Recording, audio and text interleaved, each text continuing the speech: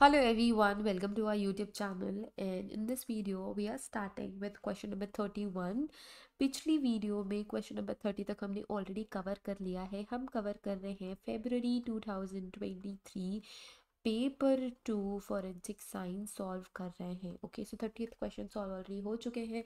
मैंने separate playlist बना दी है फेबररी 2023 पेपर टू की। तो जिसमें थर्टी क्वेश्चंस तक की वीडियो मिल जाएगी आपको। इस वीडियो में हम क्वेश्चन नंबर थर्टी वन से लेकर फोर्टी तक कवर करेंगे।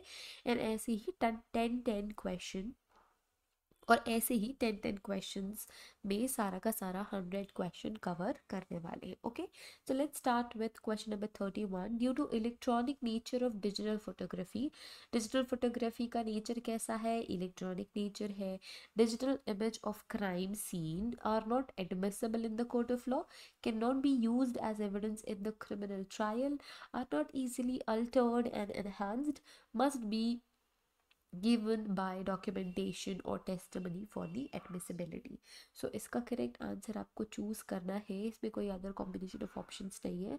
तो इसका करेक्ट आंसर है फोर्थ वन ठीक है? It must be companied by the documentation and testimony for the admissibility ऐसा क्यों? क्योंकि जो डिजिटल फोटोग्राफी होती है, उसका नेचर कैसा होता है? इलेक्ट्रॉनिक एविडेंस है वो बट उसके साथ साथ आपको डॉक्यूमेंट्स और अदर एडिशनल एविडेंसेस आपको देने पड़ेंगे। ठीक है? ऐसा क्यों? हम अभी समझ लेते हैं। ना digital image of a crime scene are admissible in the court but their admissibility often depends on एडमिस on establishing their authenticity and reliability अब आपने देखा होगा कि जब हम क्राइम सीन रिकॉर्ड करते हैं तो क्या क्या करते हैं? नोट मेकिंग करते हैं नोट्स बनाते हैं डॉक्यूमेंटेशन का प्रोसेस है, इसके बाद क्या करते हैं?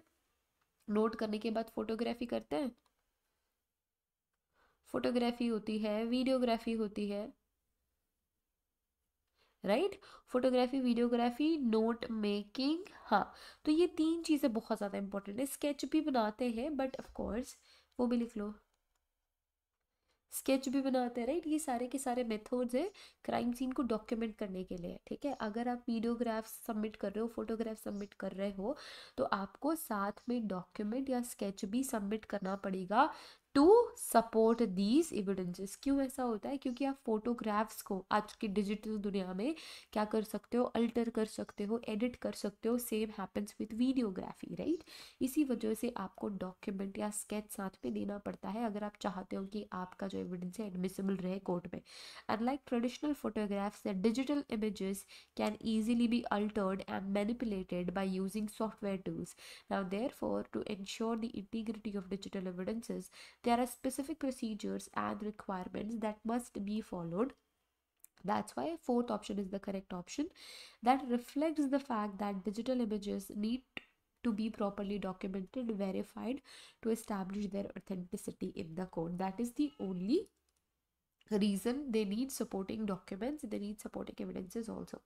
Let's move to question number 32 which of the following laser source would provide the most intense Raman lights कौन सा ऐसा लाइट uh, सोर्स है लेजर लेज़र सोर्स है जो कि सबसे ज़्यादा इंटेंस रमन लाइन्स बना के देता है given in the same input power ठीक है यहाँ पे आपके पास डिफरेंट डिफरेंट लेजर्स का क्या है? ऑप्शन है N D Y A G first option here is N D N Y A G laser जिसका फुल फॉर्म है neodymium neodymium dropped and yttrium aluminium garnet so ये एक लेज़र है helium neon laser krypton ion laser और आयर argon ion laser so correct option is argon ion laser the intensity of Raman line is influenced by the factor such as power and wave length of the laser source कि laser source की कितनी power है, कितनी wave length है? In general short wave length lasers are most effective for Raman spectroscopy very important कैसे? shorter wavelength lasers are very effective for Raman spectroscopy because they provide higher energy photons that leads to more intense Raman scattering बहुत important statements है ये आपको ध्यान में रखने हैं now among the options here we have first one ठीक है now this laser typically operates in the infrared region region while they are powerful lasers the longer wavelength may not be as effective for Raman scattering as shorter wavelength. तो इसको eliminate कर दो ना helium neon lasers कैसे होते हैं helium neon lasers usually emit light in the red green spectral region. ठीक है इस रेंज में होता है किधर? रेड और ग्रीन स्पेक्ट्रल रेंज में। ये चीज़ आपको ध्यान में रखनी हो। सकता है कि इन सारे क्वेश्चन से आपको इन सारे ऑप्शन से आपको क्वेश्चन बना के नेक्स्ट एग्ज़ाम में पूछे ठीक है? सो so, जो हीलियम न्यून लेज़र है ये कहाँ पे लाइट एमिट करते हैं? ये रेड ग्रीन स्पेक्ट्रल रेंज में लाइट एमिट करते हैं जो 633 नैनोमीटर से 543 नैनोमीटर के रेंज में होती है। These are short wavelength now compare to first option that can be more effective for Raman spectroscopy but this is not the correct answer for this question ठीक है अगर हम ऑप्शन नंबर वन से compare करें तो this is good enough then we have krypton ion laser these lasers emit light in visible spectrum याद रखोगे visible spectrum में light emit करते हैं often with multiple lines in green blue and red regions This shorter wavelength of krypton ion laser can make it more suitable for Raman spectroscopy compared with option number one. अभी भी हम compare कर रहे हैं option number one से तो option number one से compare करने से ये दोनों ही better है. Let's move to next option iron ion laser. It covers a broad range of wavelength in the visible and UV spectrum. They provide shorter wavelength than option number one making them potentially more suitable for Raman scattering. So this have the shortest wavelength और सबसे ज़्यादा energy भी ये देंगे, इस वजह से सबसे ज़्यादा सूटेबल है आपके रमन स्पेक्ट्रोस्कोपी के। That's why option four is the correct answer that is argon ion laser okay before moving to question number thirty three a quick quick reminder that we have an application application की link आपको description में मिल जाएगी and U G C NET forensic science की classes आपको मिल जाएगी, ठीक है? We have video lecture class we have study material class so video lecture class में you'll get video lectures live lectures P D F notes ठीक है? आपको कोई भी बुक रेफर करने की ज़रूरत नहीं है पेपर वन पेपर टू दोनों ही कवर हो जाएगा। यूनिट वाइज टेस्ट आपको मिलेंगे मॉक टेस्ट आपको मिलेंगे। Previous year question paper ten years के आपको मिलेंगे solve with video discussion also so these are the things you will get in our class of U G C NET forensic science paper two अगर आप December U G C NET के लिए aspire कर रहे हो then do join our classes to crack your examination if you are confident enough that you need only PDF study material then you can also join our PDF study material course जिसमें videos live lectures को छोड़ के you will get everything ठीक है you will get PDF note unit wise test mock test and previous year question paper के 10 साल के solved papers आपको मिल जाएँगे in a study material course so do join our classes according to your requirement Now let's move to next question. Question number 33. The breathalyzer is based on the principle of बहुत important है ये breathalyzer पढ़ना नहीं भूलना है इसका mechanism नहीं भूलना है ठीक है The concentration of alcohol in lung air is dependent on arterial blood. This is based on Henry's law. The fixed ratio between concentration of alcohol in the alveolar air its concentration in blood. There is a correlation between breath and blood alcohol and the ratio is assumed to be 1 is to 2 uh, 2100 ठीक है यहाँ पे आपके पास possible options हैं जिसमें से correct option है A B and C only ठीक है ए बी और सी क्या है? A says the constitution of blood alcohol in lung air is dependent to arterial blood hundred percent correct ठीक है? आपके जो एयर होती है जो लंग एयर होती है वो किसके प्रपोर्शन होती है किसके डिपेंडेंट होती है? आपके आर्टरियल ब्लड क्योंकि वो आपके लंग में ही तो आ रही है प्यूरिफिकेशन के लिए कार्बन डाइऑक्साइड देगी ऑक्सीजन लेगी तो लंग्स में भी तो आ रही है राइट सो so, उसका जो कॉन्सेंट्रेशन होता है एल्कोहल का वो लंग एयर से भी हम पता लगा सकते हैं। Next we have this is based on Henry's law hundred percent correct कि हेनरीज लॉ पे बेस्ड है। Option C it is the fix ratio between concentration of alcohol in alveolar air and its concentration of blood ये तीनों ही option hundred percent correct है। That's why this is the correct answer let's move to next question question number thirty four we have to match list one with list two यहाँ पे कुछ चीज़ें हमें दी गई। For example viscose polyester sisal and shahtoosh. So so, इसको आपको क्या करना है? मैच करना है विद लिस्ट टू ठीक है? कई सारी चीज़ें आपके लिस्ट वन में ऑलरेडी है राइट सो इसका करेक्ट ऑप्शन होगा viscose is made up of wood cellulose and it is semi synthetic fibre ठीक है? So A is match with three polyester is a petroleum product of synthetic fibre so that's why B is coupled with one C sisal is botanical and natural fibre yes ठीक है? इस वजह से C is paired with four and shahtoosh is derive from the animal and it is natural ठीक है? ये Tibetan antelope से आती है that's why D is match with two ठीक है? Animal and natural okay that is the correct match everyone please एक बार वापस से गो थ्रू कर लेना कि कौन सा करेक्ट आंसर है। Next question question number thirty five under which of the below mentioned option executive magistrate authorize the body to be exhumed for a re examination देखो एग्ज्यूमेशन क्यों होता है? एग्ज्यूमेशन मजिस्ट्रेट के ऑर्डर पे ही होता है, ठीक है? जो ऑलरेडी बॉडी बरीड है, उसको वापस से निकालते हैं और उसकी फिर से अटॉप्सी हो सकती है। अगर हो सकती है री अटॉप्सी होनी हो राइट वापस से अटॉप्सी होनी हो, या उस केस से रिलेटेड कुछ और इन्फॉर्मेशन आपको पता लगी है so that's why the body can be exhumed ठीक है, इसका बहुत क्लासिक एग्ज़ाम्पल है let me recall the name मैं भूल रही हूँ नेम ठीक है? जॉली अम्मा केस जो था, उसमें उसकी, उसने अपने फैमिली के I don't know a lot of people from her family was poison by her उसने अपने घर के बहुत सारे लोगों को पॉइजन दे के मारा था एंड सबको नेचुरल कॉजेज बोल के उनको सबको दफना दिया था। तो जब बाद में उनके रिलेटिव आई मीन उन, उन उनके ही घर का कोई प्रॉपर्टी इशू हुआ तब जाके सारे वापस से बॉडी को एग्ज्यूम करा गया। ठीक है? ये सिर्फ़ और सिर्फ़ एग्जीक्यूटिव मजिस्ट्रेट या डिफरेंट मजिस्ट्रेट के ऑर्डर पे ही होता है। ठीक है?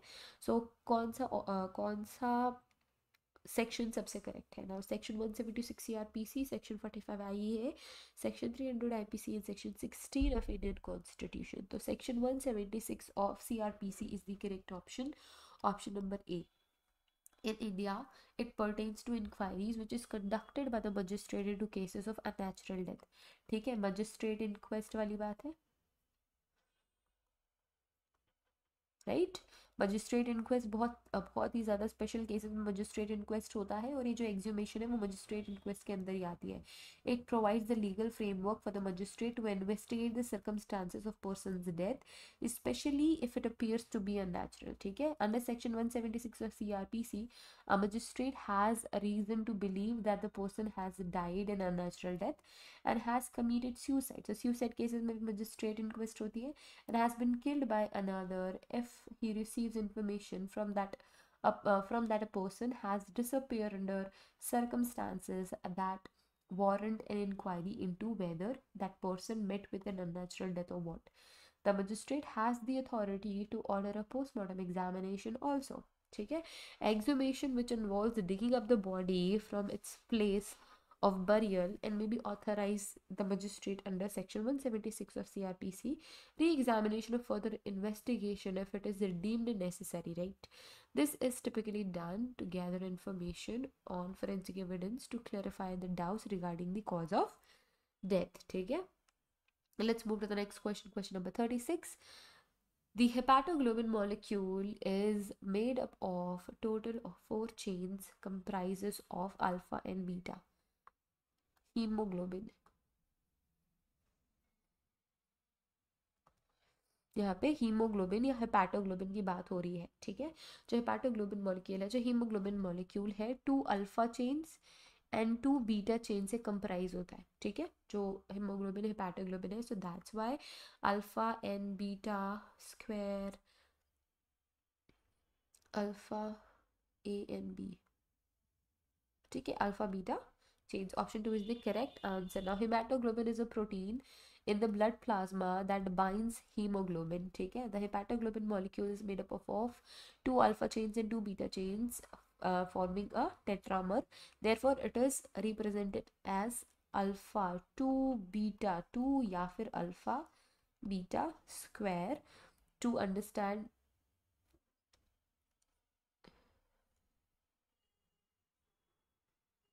alpha beta square to represent the chains ठीक है तो ये जो हिपैटोग्लोबिन होता है, वो एक तरीके का प्रोटीन होता है ब्लड प्लाज्मा में, जो बाइंड होता है हीमोग्लोबिन से and that is the basic structure of haemoglobin ठीक है दो चेन्स अल्फ़ा की होती है, दो चेन्स बीटा की होती है Let's move to next question. Question number 37. Which of the following methods of fingerprint development is based on the reaction with amino acid? So we have silver nitrate, anhydrine, DFO and Sudan black. So correct option for this question is B and C, ninhydrine and DFO. DFO का full form क्या है? Diazofluorine 901. So option B and C is the correct option. This is used to develop the fingerprint based on the amino acid reaction right then hydrogen reacts with amino acid particularly that uh, particularly lysine which is present in the sweat the reaction produces a purple blue color सभी forensic science के students ने अपने graduation में ही ये development करी होगी fingerprint सबने development develop करे होंगे निनहाइड्रेन से and पर्पल ब्लू कलर का उसमें आपको देखने को मिलता है निनहाइड्रेन की वजह से पर्पल ब्लू कलर का फिंगरप्रिंट डेवलप होता है। Now making it useful method making it a useful method for developing late fingerprints on porous surfaces ये याद रखना है।